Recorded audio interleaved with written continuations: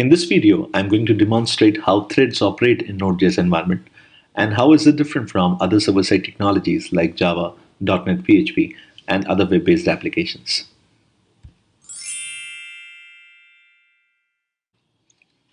To understand how Node.js is so fast, let us see how are things going on in our restaurant Cafe Wanderlust. For every order customer places here, we have a dedicated waiter to serve him.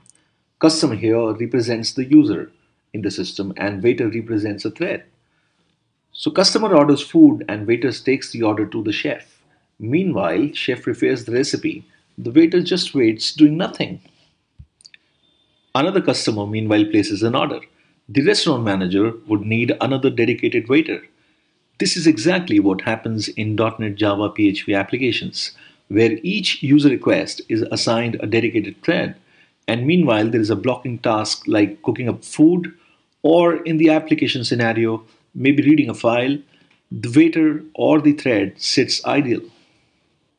Since for each customer we need a dedicated waiter this will complicate things.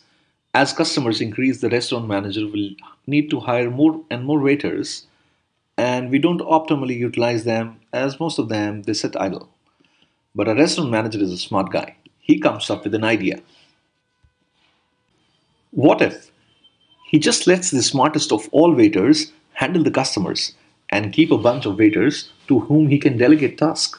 So meanwhile, our smart dude Willie Wait is collecting orders. The other waiters are busy taking the orders to the chef, getting the food prepared, and deliver it back to Willie, who will deliver it back to the customers. Cafe Wanderlust has reduced the operating cost by making optimal use of waiters, and everyone associated is really happy. This is the same way we optimize threads with Node.js. Instead of each user being assigned a new thread, it is just a single thread that serves all the customers and for background task uses a thread pool to asynchronously process the request. Now that we have understood the real benefit of Node.js, we will revisit the whole story from a technical point of view. First, let us take a look at a typical Java-based web application as the request is received by the server, a new thread is picked up from the thread pool and processing happens on the thread. For another request, there would be a separate thread and they would work in isolation unless there is a shared resource access.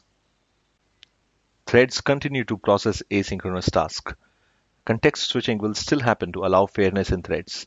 When a thread hits a blocking task, it waits there doing nothing at this point, another thread will get CPU allocation to process its own task. Now, let us move to a Node.js application.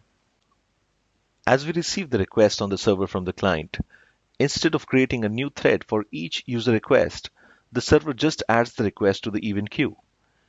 Each consecutive or concurrent request is logged into the queue to be processed by event loop that runs on a single thread. And this is much like our smart Waiter who serves everyone.